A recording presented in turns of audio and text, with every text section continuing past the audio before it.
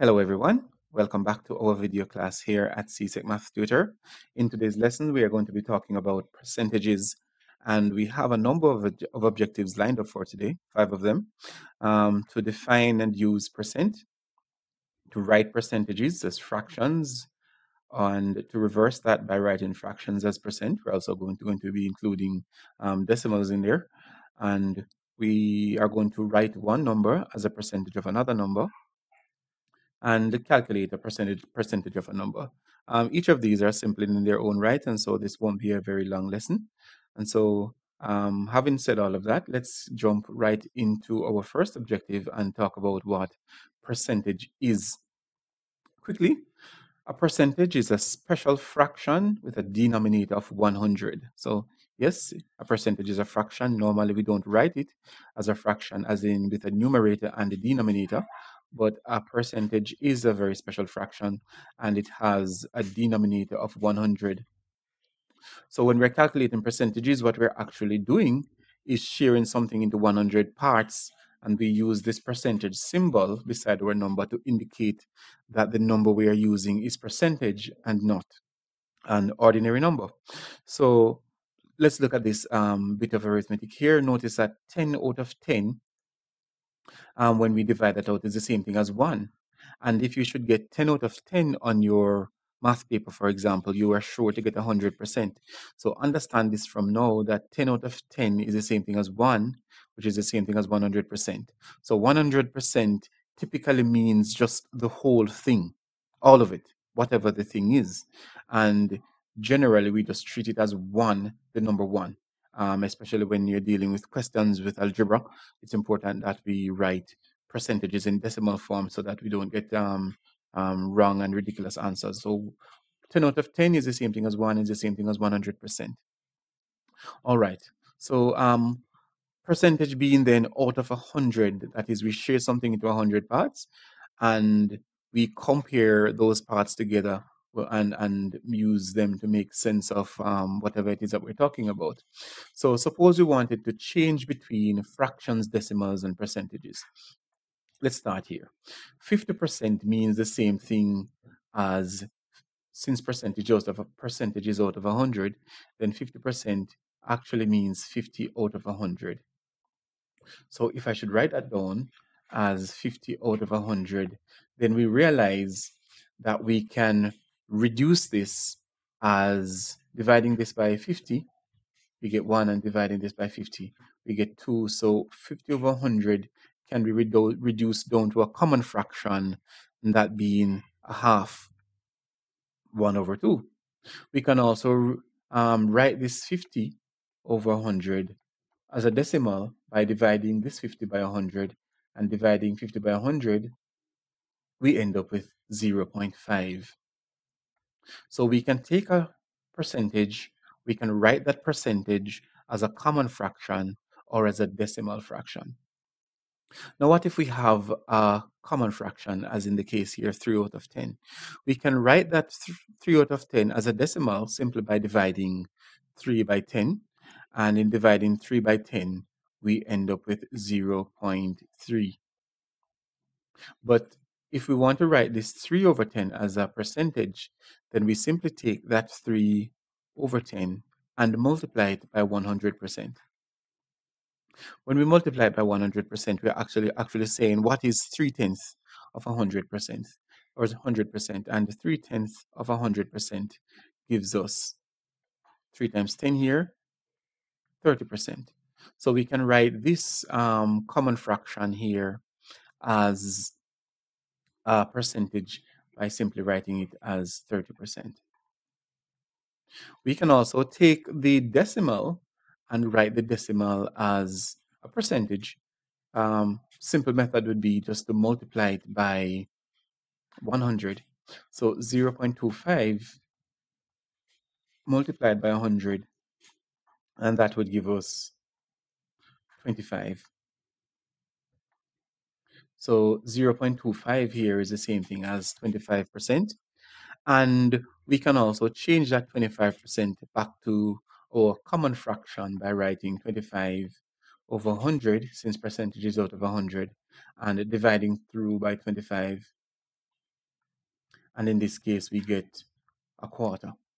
So these are simple examples, but the idea is essentially the same, whether the fractions are simple or complicated. Um, if we have a decimal number, we can take that decimal number and multiply it by 100 to turn it into percentage. And we can also simplify that percentage into a common fraction. If we have a common fraction, we can change that to a decimal by dividing by the denominator, the numerator divided by denominator, and multiply that common fraction by 100% to change it to percentage form. And also, if we have percentage, we can also change it to decimal and common. So we can interchange between all three. And sometimes it becomes necessary for you to write a percentage as a decimal or a common fraction, depending on the question that you're trying to work out. So let's try to work out some of these. Um, the first question we want to look at is how do you write one number as a percentage of another number? So our question is what percentage of 25 is 17? What percentage of $25 is $17? Um, when a question is written like this, in this um, type of anatomy, then we need to pay attention to the number that comes here. What percentage of this? This number becomes our denominator. So once the question says what percentage of, this number automatically becomes denominator. And this one becomes, by default, the numerator. So what we do is that we set up a fraction and we say 17 over 25. And we want to get this in percentage form. So what we do is that we multiply by 100%. And in multiplying by 100%, notice that we can do a simple division here. And here we get 17 multiplied by 4. And the 17 multiplied by 4 here gives us uh, 28 plus 40, which is 68. So this gives us 68%.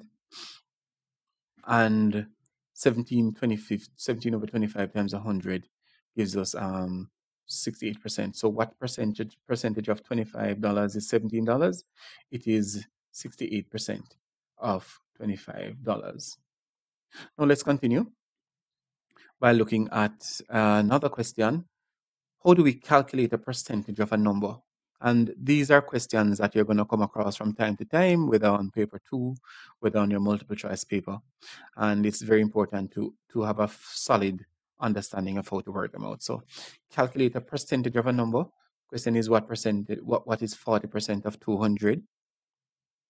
40% of 200 simply is to write the percentage over 100. So we write 40 over 100 and we multiply that number by 200 grams as we have in the question here. So percentage goes over 100 multiplied by that number. So here we can do a simple division. And here we can say 2 times 40 gives us 80. Um, so that would be 80, um, 80 grams. I want to introduce you to another idea here where sometimes it is necessary to change your your um, percentage to to decimal. Sometimes you're working out some questions and they are not numbers that can be simplified as easily as this. So for example, what if you wanted to find um, 12% of of um, 30? So 12% of 30 gives you 12 over 100 times 30. And this doesn't uh, doesn't divide out cleanly as this one. So here we can say 100 into itself 1, 100 into 200 goes 2 times, but there's no such cancellation here. A simple solution can be just to change this percentage here to decimal form. So we can change 12% to 0.12 and changing it, we simply multiply it by 30. So 30 multiplied by 0.12, let's just do that very quickly. 0.12 times 30. And remember that on your multiple choice paper, you will not be using a calculator.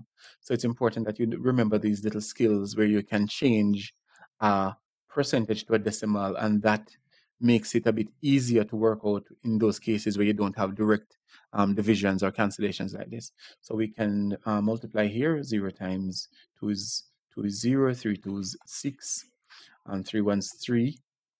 And notice that we have two places of decimal. So we have um, 3.6. So put, to put this question in context, if we were saying what is 12% of $30, then we could put this 12 in decimal form, and that would give us 0.12. And um, remember, you're dividing it by 100. 12 divided by 100 gives us 0.12. Multiplied by 30.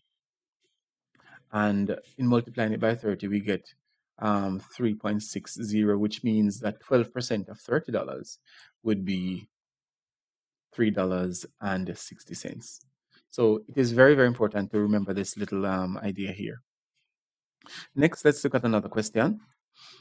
What is 70% of 50? Remember, finding 70% of 50, the percentage goes over 100. So we write 70 over 100 times 50. And here we have another simple um, cancellation. We can divide by 50 here. So 50 into this into itself goes one time. 50 into 100 goes two. And 2 here can divide 70 35 times. So here we get $35. Importantly though, because you are multiplying and remember that multiplication is commutative, you can always switch the numbers in a percentage. So calculating 70% of 50 is also the same thing as calculating 50% of 70.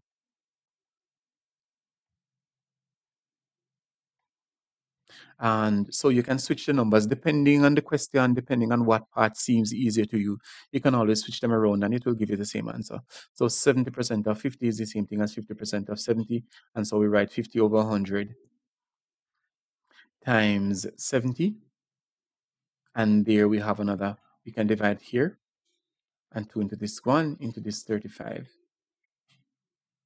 So these little skills are very important, whether you're doing CXC, whether you're doing City and Guilds, uh, or whatever exam that you're doing, you can always, um, if you're working out working out a percentage and the number doesn't feel very um, fun for you to work with, as in it's it, there, there's nothing um, to cancel out to get an easy answer, given that you won't be using a calculator. You can all you can choose to switch your percentages. So 70% of 50 is the same thing as 50% of 70, or if you want to write it as a decimal. So let's write it as a decimal. Um, 70% would be the same thing as 0 0.7. And we're going to multiply that by 50. And so um, 50 times 0 0.7, 700, 7535. In this case, we have one um, decimal place. So notice that we get the same number each time. Um, whether we change the percentage to a decimal and multiply, whether we calculate it directly by saying 70% over 100 times our number, or whether we choose to flip the, num- flip the numbers around by saying instead of calculating 70% of 50, we calculate 50% of 70. Same result. Percentages are very fun to work with and they're very useful. Like I said, they will pop up in your question one uh, in the consumer arithmetic section, and there will be many, many questions on your um, multiple choice paper that deal with percentage. For more information and practice, remember to go to CSEC um, uh, mathtutor.com, look into look at the past paper section, look at the multiple choice section and practice paper section. There are many, many questions there for you to practice with and develop your skills. And of course, if you have questions, you can remember to drop them in the box. Uh, that's it for now. Until next time, continue working hard and best wishes with your exam.